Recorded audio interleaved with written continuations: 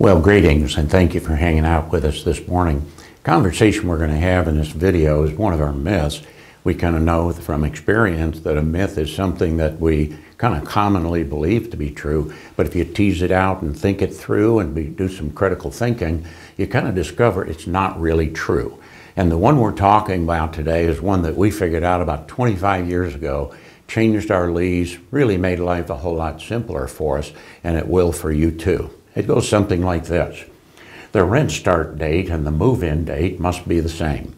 In other words, when we're drafting our leases, we want to say the move-in date is X and the rent starts on that date and have the tenant sign it and, and it's done. And we kind of think rent start date, move-in date have to be the same date. And I used to think that for the first 10 years of our business, then figured some things out. Another way to say it goes something like this. If the tenant moves in early, you must prorate the rent. In other words, if the tenant says, I'm moving in June 1, and you prepare the lease that way, and then all of a sudden they want to move in um, May 20th, you've got to go back and change the lease and prorate the rent and then do the move in. And we got tired of doing that because tenants don't always know when they're going to move in. So we figured out a way to get around that, make our life a whole lot easier. So let's kind of tease this out a little bit and uh, see where it goes. So here's the problem. Here's the problem. Number one, tenants don't always know when they're moving in. Uh, let's face it, you and I don't either. When we move, uh, we think we're going to move in June 1, but it really might be May 27th, it might be June 3rd. Uh, when tenants are signing and making applications and they say, here's the move in date, that date moves a lot, and they don't always know any more than you and I would uh, exactly when that move is going to take place because there's a lot of variables. There's many things that change, and so there, there's, there's a struggle here in the lease signing process of when is the real date for move in? So that's one of the challenges that we work with. The second one goes like this. We often get leases executed well in advance of the move in. If, if you're doing like we did, we would approve a lease on May 1 for a June 1 move in. We might have the tenant execute that lease May 10 or May 15 or May 20 and, so we're executing leases well in advance of the move-in date. And if we plug in a move-in date and a rent start date and think that they're the same date and put it in the lease, now the tenant wants to move in a, a week or so early, we got to often go back and redo the lease and re have it executed. It's kind of a hassle factor, and it doesn't have to be that way. Okay. The third challenge is we think rent should start when they move in. Now, when I was a young property manager, I thought hey, if they take possession on the 27th of May, rent should start on the 27th. If they agree to a June 1 move in and they move in on June 4th, rent should start on June 1. We, we kind of struggle with this. When should rent start and when should move in be? And do those dates have to be the same? And we wrestle with that. We know other property managers who do as well. So let's look at maybe some solutions to this problem and see if we can't do it a better way. What we did for 25 years, we identified a rent start date based on the tenant's best guess. In other words, it's a target date. So we would say in our rental agreements and in our negotiating with the tenant, okay, your target date is the, uh, uh, the 1st of June, and so we're going to start this lease on June 1st, and the rent is going to start June 1st. Okay, and then we would lock that in. We would not change that based on their move in date. We would actually let the move in date evolve. So we would say, look, I don't care when you move in, rent starts June 1st. And if you want to move in May 15th, May 18th, May 23rd, it's okay. You want to move in June 3rd or June 5th, it's okay. But we've got a hard date when the rent starts. So one line on the lease says, rent start date is, okay? And then the last thing is we would leave the rent start date alone even though they moved in at a different time. Now that's kind of contrary to many of the ways, many of the managers that I talk to, because they get this hard, rock, locked-in idea that rent has to start the day people move in, and that really is not necessary. And when you separate those two, you're going to make your life so much easier for yourself and your staff. You're going to shrink down the amount of work that they do and, and but follow through because we got some challenges we need to talk through. Here's kind of what the language looks like, okay? Here's, here's why we said it. Rent start date is, we're using it as an example, June 1. And then the move in, notice the word, and this is how we had it in our rental agreement. Move in target date is X. Now here's the extra language. The lease begins upon the day of move in or the rent start date, whichever is earlier. In other words, if the tenant agreed to June 1 and they're moving in on the 28th, it's okay. We're not going to prorate the rent. We're not going to re execute the lease. We're going to eliminate all that because once, you, once you've identified the rent start date, then, that, then the actual move-in date can move around three, five, ten days before or after. Now, follow me because I know there's some challenges here because one of the things that we have to talk about is how the owner is going to respond. Because you and I both know that sometimes the owner lives nearby and they can maybe see that the tenant's starting to move their stuff in a week ahead of their rent start date and they'll call you up and they'll say, oh, the tenant's moving in. Aren't they, you know, I'm going to get more rent, right? And so we got some challenges here, and, and I'm going to give you some reasons to explain to the owner why letting them in early is a really good idea, even without prorating the rent. Now, again, I know you're locked into this idea that rent should start the day they move in. But the, I'm going to make your life so much easier if you would maybe just put that idea with a question mark after it and listen to these arguments that you would give to an owner as to whether, as to why you're not going to prorate the rent if they move in a week early. Okay? Follow my thinking here.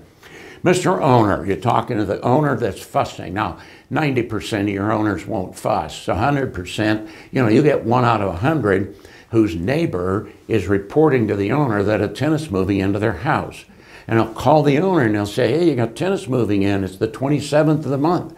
And the owner will call up and they'll say, I should be getting prorated rent because the tenant's moving in early.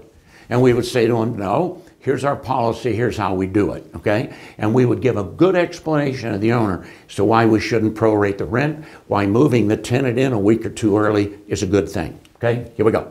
Vacant houses attract vandalism and theft. We all kind of have experienced that a vacant house is an invitation. It's an invitation for the neighbor kids to pry open a door and make it a party house. It's an invitation for somebody to come and remove the air conditioning condenser. It's an invitation for somebody to break in the back door, back up a pickup truck at 2 in the morning, and pull out the stove and a refrigerator. So, Mr. Owner, we're trying to protect your property and save you money. We let the tenant move in on the 25th of the month. We did not prorate the rent because they added security to your house and prevented vandalism and break in. So we didn't prorate the rent. We encouraged them to move in early because of this issue of vandalism and protecting your house. Bottom line, an occupied house is a safer house from a vandalism standpoint than a vacant house common sense, think it through. That's argument number one. Now, here's some other arguments. Lawn care and utilities transfer to the tenant when they move in. So let's imagine you're in the summer and you've got a vacant house and the rent start date is June 1.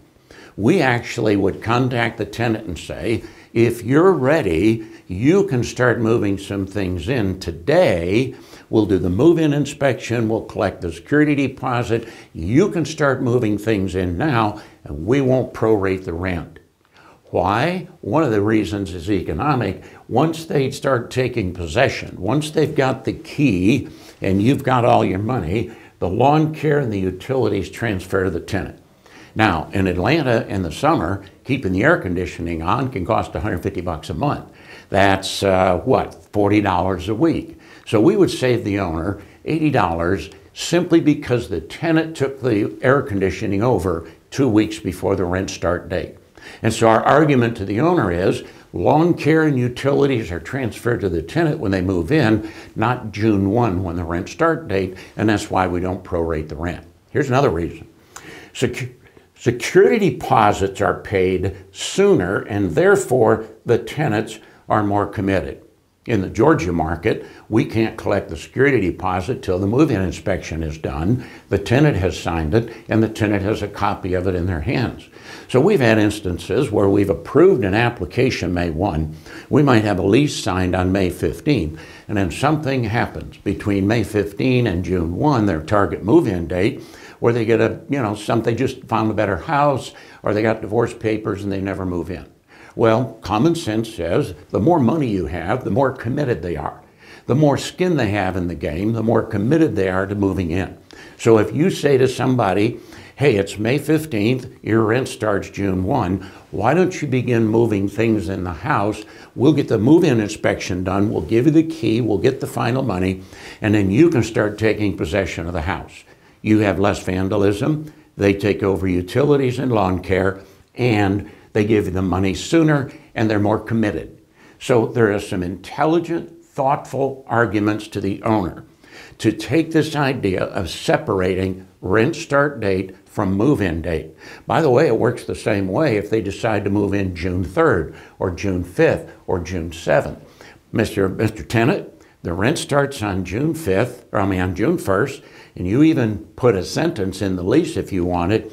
Rent starts June 1st regardless of the move in date and you make it real clear to the tenant. Your target is June 1, move in is June 1, your rent starts June 1, but once you get everything settled, you can actually encourage the tenant to take possession earlier. Why? Because it's good for the owner.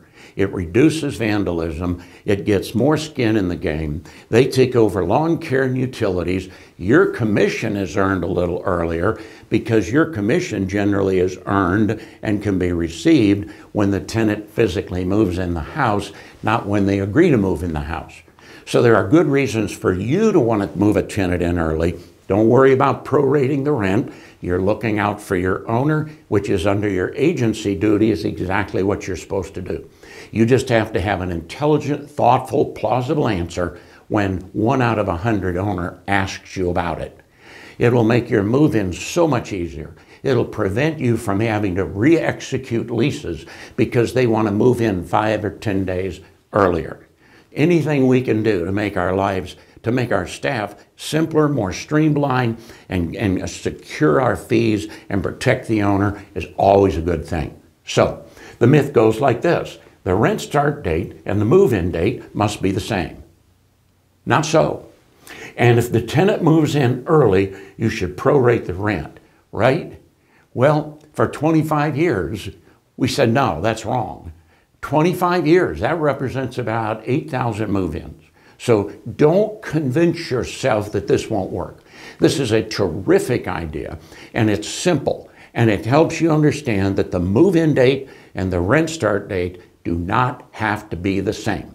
It requires a little tweaking in your lease. It requires a little bit of mental adjustment. But very candidly, you make this adjustment, your staff's going to love it. Your life's going to get so much easier. And one out of a hundred owners will call up and say, I understand the tenant moved in two weeks early. Do I get more rent? And you have to have an intelligent answer for that. And we've just given it to you. Now, where can you maybe get more information like this? Okay, on trainingpropertymanagers.com. This is our website. One of the big buttons on the front page is courses. Under that is online courses. We've got a whole bunch of online classes and series that you can sign up for. Some of them are free, some of them are available to our guests. Some of them you have to be registered. There's no money involved in that. Give us your name and your email. Some you have to be a subscriber, that's 27 bucks a month. Some, if you're a super subscriber or you're on a revenue sharing stream with us and you're engaged with us in some fashion, these courses are completely, or these uh, series are completely free to you. So that is all about rent collection, or rent start date and move in date or don't have to be the same. This will make your life so much easier. Well, thanks for hanging out today. We appreciate it so very much.